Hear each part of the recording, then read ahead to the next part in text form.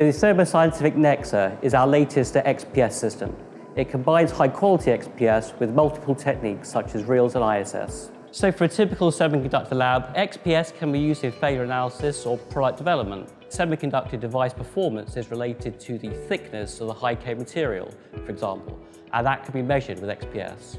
Scientists studying semiconductors uh, want accurate results, of course, but perhaps more importantly, they want repeatable results and precision.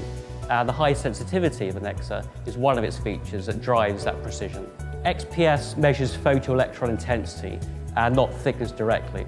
But by building a model in the Avantage software, we can take that photoelectron information and convert it into a film thickness. Modern semiconductors are becoming more and more complex, and so you can't actually do a full and comprehensive analysis with just one technique. In order to characterize it fully, you need to have multiple techniques. Uh, XPS, of course, which uh, gives you uh, composition uh, and chemical bonding information. REELS, which gives you band gap information, for example. ISS, which can give you information from a top monolayer and give you a coverage analysis.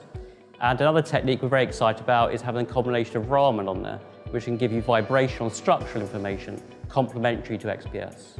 So if you're depositing something like a hafnium oxide with atomic layer deposition, and you're building up the layers uh, cycle by cycle, using XPS, you can measure how much material is deposited.